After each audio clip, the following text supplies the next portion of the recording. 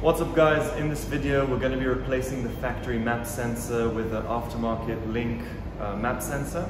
I wasn't able to find quality information on the internet, so here with me is uh, Yotam from your Tuning Power by Wire, which if you haven't checked his Instagram yet, uh, you should. He's a wizard with everything that has to do with wiring and tuning, and he's going to show us his method of how he finds uh, power, ground, and signal wires.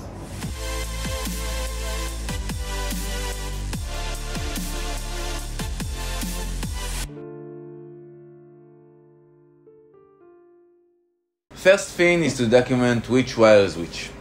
As you can see, Link have supplied us with their pinout to the sensor. So, ground, signal and 5 volts. We wrote those three of them down. After uh, we run our checks with the multimeter, we will write the wire colors down. We first set our multimeter to the ohm meter mode and I will now demonstrate on the throttle position connector how to find the sensor ground pin. You can see that the result is close to zero, which indicates that we have found the sensor ground pin. We then change the, to the continuity mode and find the, which pin beeps. Now we know that this wire is the sensor ground. We can document its color in our diagram. Now, to find the sensor supply wire, we go over to the next pin in our TPS connector with the multimeter still on continuity mode and see if we have continuity in the other pins on the map sensor.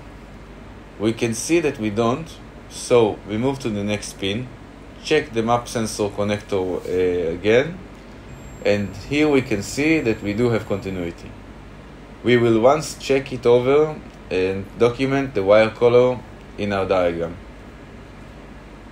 To confirm our signal wire, we will go back to the second pin that we know isn't the sensor supply or sensor ground and set the multimeter to ohm meter mode.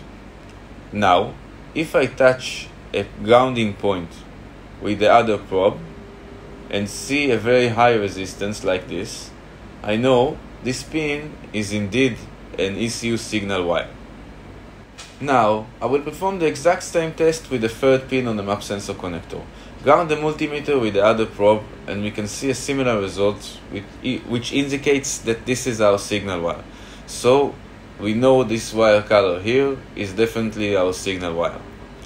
So we'll document this in our in our diagram and now uh, we know which wire goes where and we can connect our new map sensor. So that's all for this video, keeping it short and sweet. If you found this video helpful, feel free to share it with others you feel can benefit from it. I have a lot of plans for this car, such as a 6-speed swap, entire custom engine bay harness, lots of upgrades for the fuel system, intake, drive-by-wire, etc. So if you're interested in this type of content, you're more than welcome to subscribe to the channel and follow along my GC journey. Till next time, thanks for watching.